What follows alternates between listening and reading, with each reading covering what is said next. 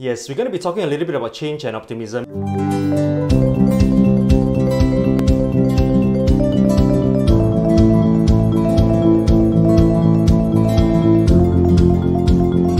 So let's talk a little bit about change, right? What happens to us when new things happen in our life? From the time that it happened to the time that we accept it, it's not immediately. There's a process that we go through. Although I talk about losing phone, this is the same in terms of different areas in our life, life stages. For example, used to go back home to Malaysia, visit your family, and suddenly cannot go anymore. So at the start, you're like, sure no, cannot go man, I don't know when. So a denial stage, you know. Then you realize, wow, really cannot go. Uh? Then get a little bit angry. Wow, suddenly all this lockdown, MCO, and all those cannot even go in. Why the government doing this kind of thing? You know, separate the family and all. And then after they realize that, oh, you know, no choice, then you slowly let go, look for alternatives, right? Then you start to go through that process. Okay, what else can we do? Looking forward to the day that you can be reunited with the family, you know. Whether is it losing phone or life stage promotion changes in your life, we go through a process. It's not immediately that we accept and we receive it. It is important for us to know what where are you at in the light of all these changes. We need to manage with all these different way of working, right? Different style of working, got to do this and that. So where are you with regards to the changes that is happening in your world?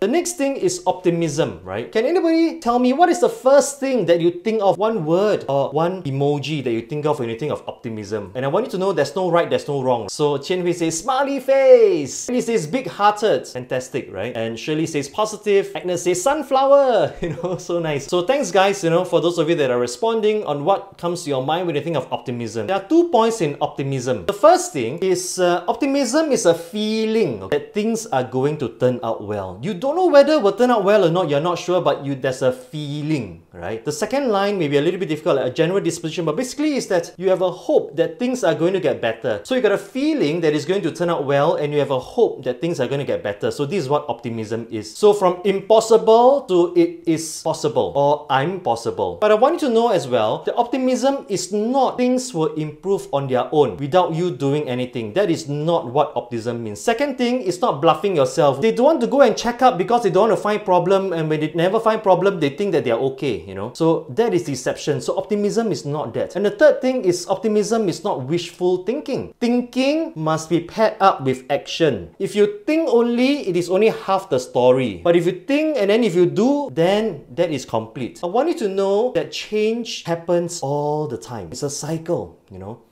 And optimism, realistic optimism, is the fuel, you know, like your car, you know, your van. Uh, if you got no petrol, you got no fuel, cannot move, you know. So fuel is like that optimism. That is the role that it plays in our life. We are faced with something new in our life, you know, when we are faced with difficulties in our life, there are three ways of how we respond to it. One is we respond like a stone, you know, like very hard, you know. We are hard, you know, is to protect ourselves, not because we want to be difficult, right? So that's the first way of responding like a stone. The second way of responding is like water, while like very adaptable. You know, you give me into a cup, I go into a cup. You go me into a mug, I go into a mug. You know, put me into a bottle, I become a shape of a bottle. But the thing about water is that water can spill all over. And the third way of how we can respond is to be like a ball, to bounce back, you know, in a light of difficulties. So what we want to work towards is to become like a ball to be able to bounce back effectively. And I want to kind of share my favorite quote with you. There are no hopeless situations, only people who are hopeless about their situation.